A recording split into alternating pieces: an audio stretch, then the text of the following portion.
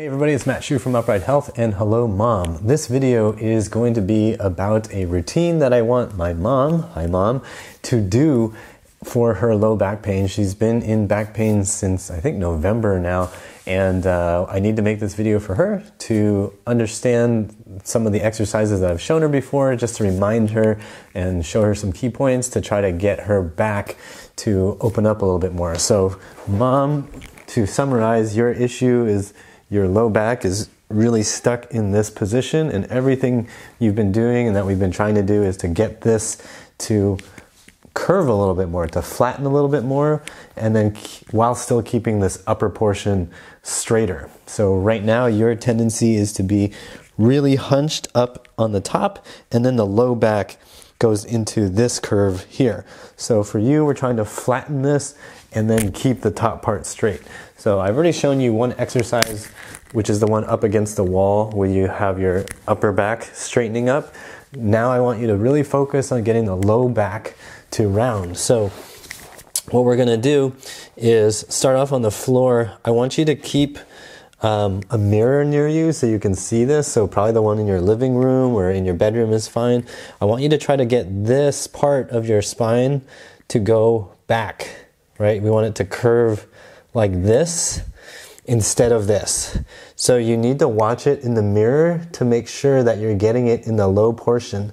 It's going to feel like a big stretch. It's going to feel um, really tight and stiff here. That's okay. Just go as long as it's a medium level of intensity, you're fine. And just stay there and breathe. I want you to keep trying to breathe into that area, trying to make it get used to being in that more rounded position. Then you continue doing that for about 30 seconds to a minute, so make sure you have a timer. Just try to let that loosen up. Once you've gotten that to just stretch a little bit, then we can move on to the next exercise. This one you can do a lot though. So if you can do this throughout the day to try to stretch out the low back, that would be wonderful.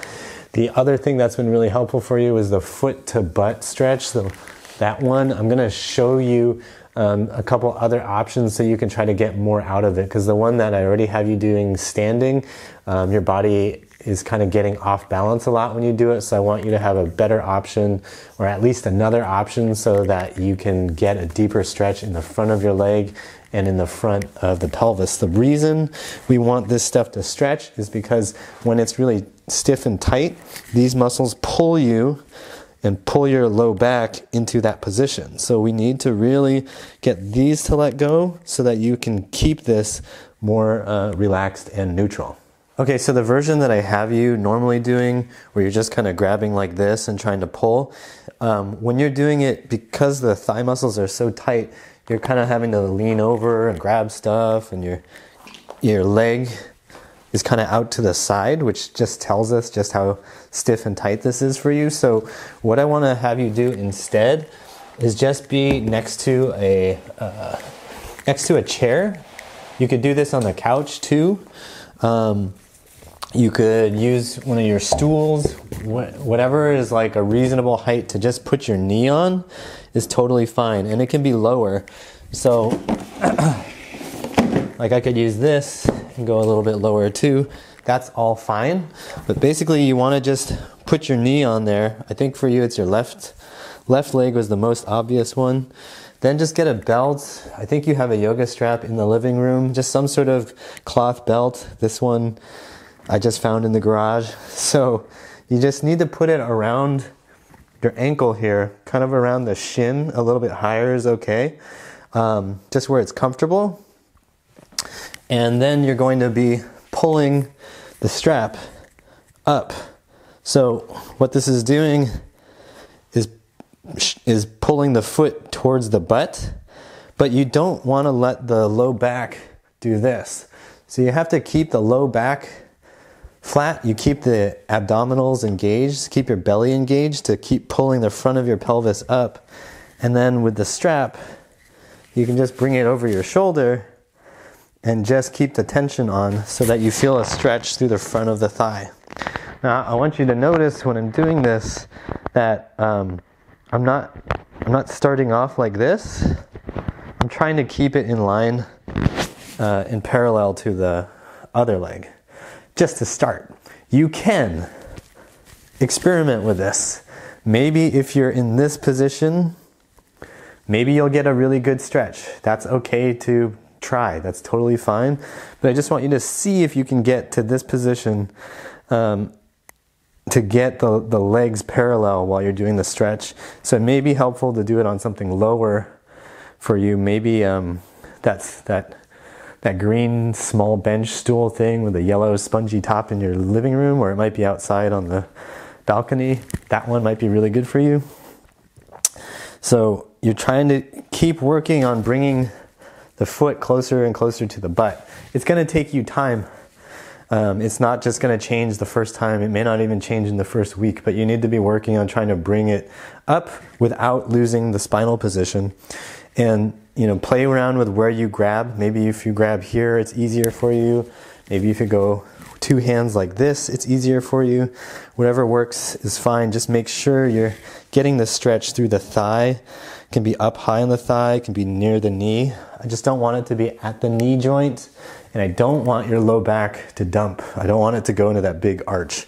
Okay, so this is a different way for you to do your quad stretch, to do this hip flexor stretch. Um, and I think it'll give you a lot more benefit. You can also try leaning, so you could lean a little bit more this way if that helps you. You could even do this um, off the edge of the couch.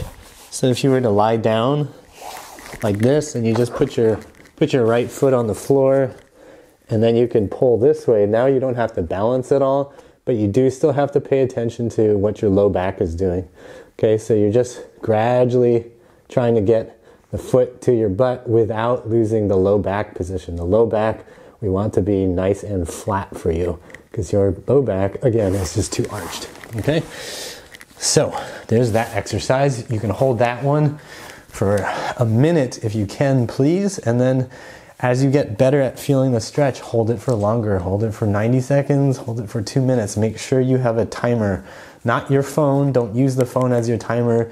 Use something else. Use, hopefully, you have a kitchen timer uh, somewhere that you can use. Um, the phone, you just keep this video on so you can watch me. Okay, so this is the final one that I showed you when I was there last time. Um, basically, what I want you to do is stand next to or behind the couch. You can use a stick or uh, one of your uh, tall chairs from the dining table next to you. So you've got help on both sides. And then what I want you to do is just slowly start going down and then coming back up. You don't have to get all the way to the floor today, tomorrow, or even next week, but I want you to get used to controlling your way down without losing control of your upper body and your lower back. So when you're going down, I don't want your butt to start changing position. I want you to feel like you're just going on an elevator, just straight down. Okay? The thing to think about here is with these muscles, we're trying to use these muscles to control the uh, descent. Okay, so we're going down, trying to let these muscles do the work. That means for you that you're not going to be able to go very far right now. You're just trying to build some of the strength there to maintain pelvis position as you're going down. So use the help. You need to use the help. Um, if you don't use the help, you're going to start to compensate. I need to adjust this angle, but basically, what's going to happen is you're going to go down and start shifting forward like this. That's not what I want. I want you to keep your body up. I want you to be using the back leg as much as you can to slowly control it and then come back up. The reason this is helpful is we're teaching this muscle, these muscles here, to actually get longer and be strong in that position. If all we do is stretch, which is helpful, we're not going to have the strength to walk around and do stuff without your low back compensating. So you've got to do it on that side. I would say go three times and then maybe five times on the leg and then switch legs. So when you switch legs, it's now the right leg is behind you, you're using your help, and then keeping the low back as flat as you can. You're just gonna go down to where you can control. Use your hands to help you so you can get back up and then just continue up and down. You should feel like you're just moving straight down. There should be no side to side motion. It's just trying to go straight down and back up. So if I show you this this way with the right leg, straight down, back up. With the left leg behind, it's just straight down, back up. Straight down, back up. Notice my knees not flying forward this way. That's a different exercise and I don't want you to be doing that yet. So you're just trying to keep yourself straight down, knee going close to the floor if possible, and then back up. So you're trying to use these muscles. If you feel those muscles get tired and then you can't do the exercise properly, then you just stop and take a rest. So do that three to five times, both legs. Um, then take about a minute rest, maybe two minutes rest, and then do it again. So the way you're doing this whole routine is you're you're doing the stretching uh, of your low back, right? So that's about a minute. Then with the leg stretch that I showed you, you're gonna do the left leg for at least a minute, the right leg for a minute, left leg for a minute. Okay, then you can come and do these. So you'll just do two rounds of three to five of these exercises. And then when you're done, you're going to do the leg stretch again. So get the strap again, pull it up, and start stretching again. I want you doing that leg stretch a lot. So those first two exercises, the one where you're stretching out the low back and the one where you're stretching out the leg, I want you doing those at least three times a day, if not more. And anytime you feel like your low back is starting to tighten up again, I want you to do those two. And if you really don't want to do the one where you're stretching the low back, then you need to do the one where you're stretching the leg using the strap either on the couch or on a chair or whatever, whatever works, do that because that's that was the thing that most obviously knocked out your back pain whenever you started to feel it. And that's what you felt when we were hiking. It's stretching out the thigh is what's helping unlock the low back so it can free up, okay? So please get on those and then yeah, if you have questions then we'll see you on uh, we'll see you on the FaceTime or video chat thing uh, later with Connor. All right, guys, that's going to do it for this video. I hope you found it helpful. If you're looking for more help for yourself with back pain, hip pain, whatever it is, check out uprighthealth.com slash DIY. And as a reminder, in case you didn't hear from our previous videos, Upright Live, our live streamed weekly classes with a monthly rotating focus with detailed programming, is available for free for two weeks to help everybody stay sane with this whole coronavirus lockdown thing that's happening all over the world. Uh, so if you are looking for ways to get more mobile, flexible, and stronger on your own at home, then be sure to check it out, uprighthealth.com slash live. Uh, we'll look forward to seeing you there. And as always, I hope you remember that pain sucks, life shouldn't, and coronavirus sucks.